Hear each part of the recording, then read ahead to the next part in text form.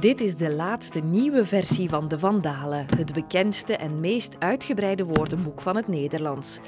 Het Vandalen Groot Woordenboek van de Nederlandse taal kennen we beter als de Dikke Vandalen. Dat komt omdat het 150 jaar geleden het dikste boek was na de Bijbel. Het is voor het eerst geschreven in 1872 door Johan Hendrik van Dalen, een meester uit Nederland. De eerste Vandalen was één dik boek van 1400 pagina's.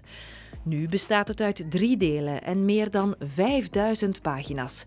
In deze laatste versie staan bijna 10.000 nieuwe woorden, zoals knuffelcontact, influencer, streetfood, fubben, kumelo, draaigatje, kruimelpad, bodyshaming, vleesbed, eeuwa en nog veel, veel meer. Maar wie beslist eigenlijk welke woorden in het woordenboek komen en hoe dan? Ruud Hendricks die weet er alles over. Hij stelt de dikke vandalen mee samen. We nemen nieuwe woorden op als die lang genoeg gebruikt worden.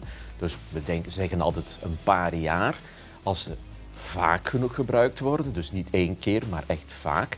En als ze tot de algemene woordenschat behoren, dus gewone woorden die iedereen elke dag gebruikt.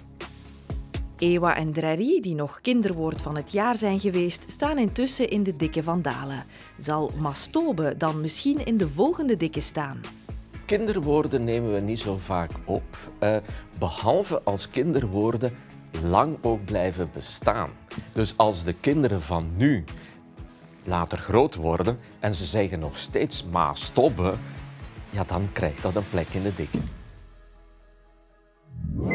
De video heb je gecheckt. Nu nog liken. Ja, daar beneden zo. En uh, hier vind je nog meer video's. Abonneer je snel op ons kanaal om niets van Karowiet te missen.